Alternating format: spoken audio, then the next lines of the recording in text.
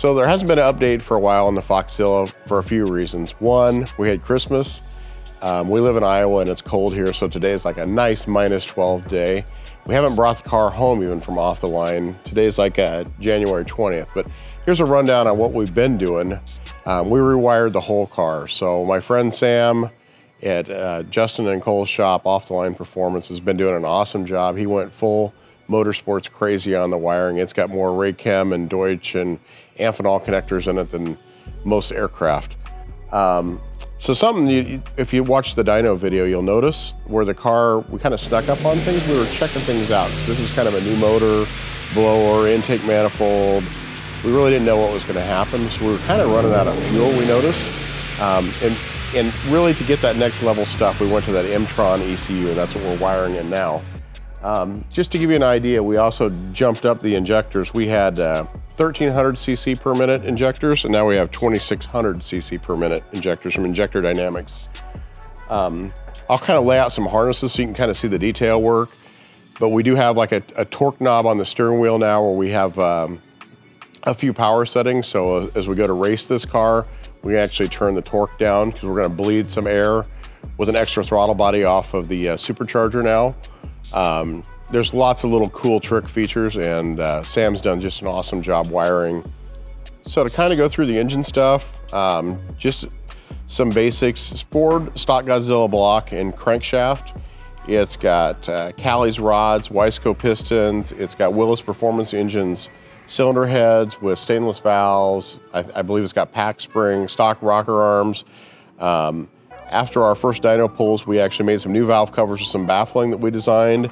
We put these uh, IGN-1A coils on, which are the Mercury Marine heavy duty coils. So when we made our new valve covers, we actually made standoffs for those. Um, it's got the oiling system from Indy Power Products. Um, all this billet stuff on here is actually the first one of this style of front cover. It's got a PowerMaster alternator, the OEM Ford water pump, um, power steering, all that stuff under here. It does have a big air to water intercooler that we built our own intake for this engine also, so we're doing some testing. So it's just taking some time. Um, another thing you might notice under here is the AEM um, EGT to CAN. So, and then we can kind of go underneath the dash and I can point out a few things under there. So inside the car, some changes we've been doing. This is the new Emtron KV8 ECU. They're made in Australia. Um, pretty high-end motorsport stuff. Not quite normally what we would use. Um, this car is a little radical. We need some data for some testing on things. Also, we changed from the ECU Masters. We had the PMU 16. We put the PMU 16 Auto Sports version in.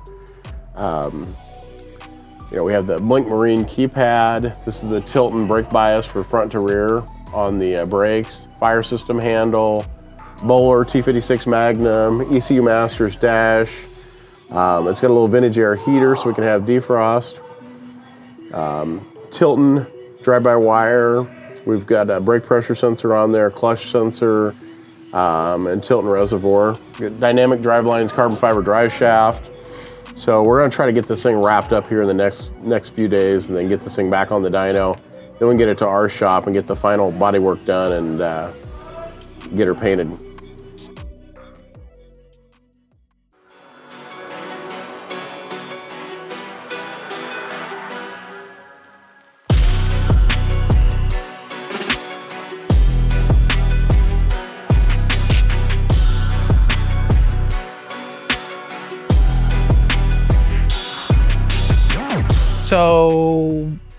There's a lot going on in this car. So we had to rewire everything, which has been a really big undertaking and it's taken a lot of time, but it's exactly because of that. It's There's a lot to wire in, there's a lot to do because obviously we want to eliminate as many failure points on the car as possible so that we can focus on the things that are on the car that are unknowns. So if we know we can make a wire harness at a spec that we can trust that it's ideally never gonna fail, then we can focus on the engine, we can focus on the supercharger, and we can focus on the driving, which is the main purpose of the car. It's a competition car, so we wanna be able to give the driver ultimate control of the car so that he can put his best foot forward in making the car perform the way that we want it to perform.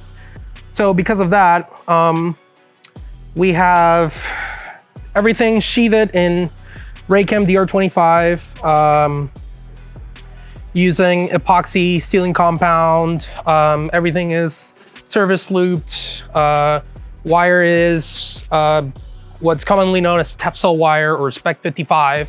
It's a aviation grade wire, uh, extremely resistant to temperature, very good conductivity, small, slim, fits everywhere, bends easily.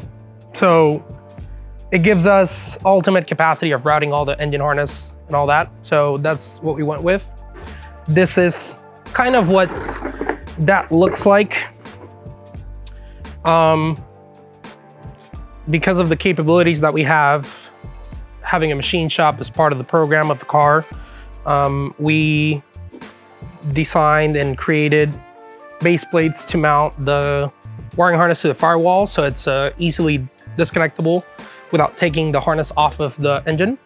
In case that we ever need to take the engine in and out of the car quickly, um, you just spin this off, take the harness out with the engine together. It all comes out, goes back in easily.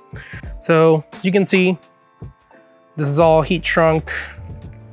It's all protected, sealed from the environment. All the connectors are Deutsch automotive connectors. They all have a certain level of sealing that a lot of other automotive connectors don't have. They're also available. They're commonly used in motorsport and they're pretty easy to connect and disconnect.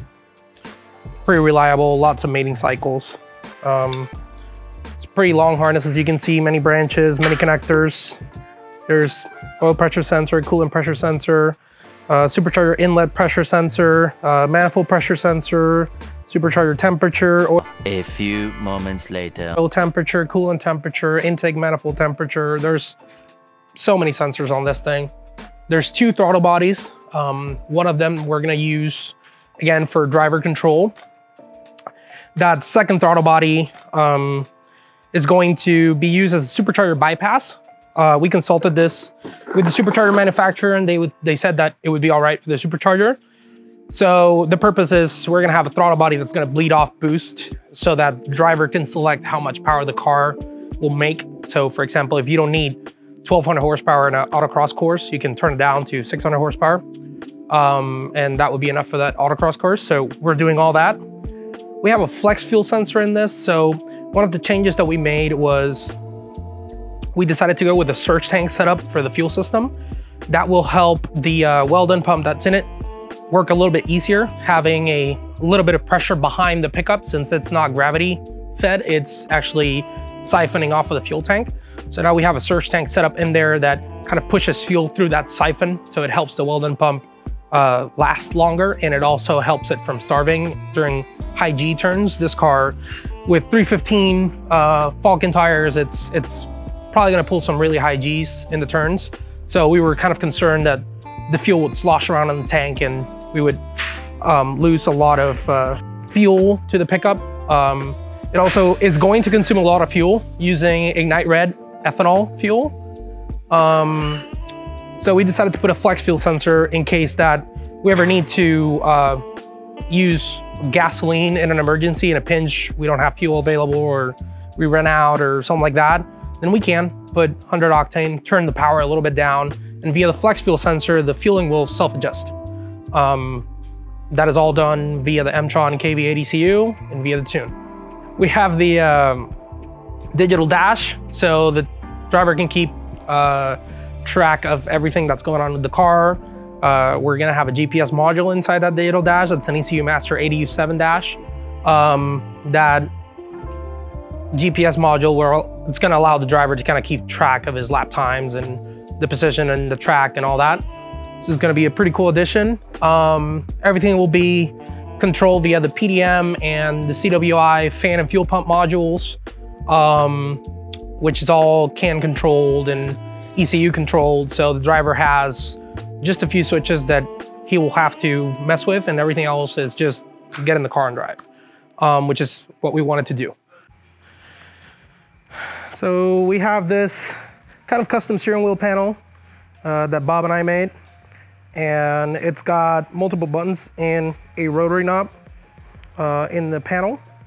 So the buttons, uh, two of these are latching. We're gonna use these as the uh, turn signal buttons since we don't have a turn signal stock and in the truck we have it set up via the CAN bus keypad. Um, we found pretty quickly that it's kind of a hassle to have to reach over, turn that on and turn that off. So decided to just add it to your steering wheel like you're used to. You're gonna have a push to talk button for the comm system inside the car for the driver to talk to the driving instructor. And um, you're going to have a button here for the horn. You're going to have a push to pass button, which is basically gonna give this thing all the power that it has on a straightaway. And then you have your power knob. Um, this has four settings, so you basically are gonna go from 25, 50, 75 to 100% power. So let's say you wanna set it so it has six, eight, thousand, and 1200. Well, that's how you do that. Um, it's all going to go to a curly cord, which is going to allow you to disconnect the steering wheel, unplug a connector, take it out of the car, put it back in, plug it in, put the steering wheel on, boom, everything works.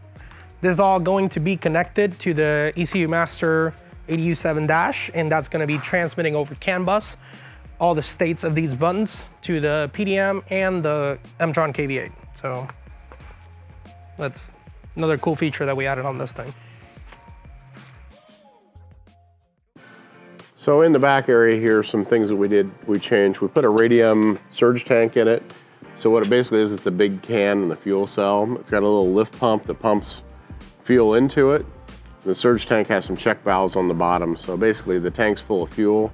It's got two dash 10 pickups, goes into a little Y adapter, then into a Weldon uh, filter, and then dash 12 into the Weldon pump, then dash 10 PTFE out to the engine, and then return back into the tank. Uh, this fuel hose is kind of mocked up for now. We're gonna finish out this sheet metal work once it gets back to my shop. Um, that's kind of the major changes to the car. So that pretty much sums up everything we did to the Fox body, um, all the major changes. Uh, we got to wrap up some wiring, do some body work, paint. Hopefully mid-February we're at uh, Barber doing some testing with the car and our first race is at the Charlotte Roval in uh, towards the end of March.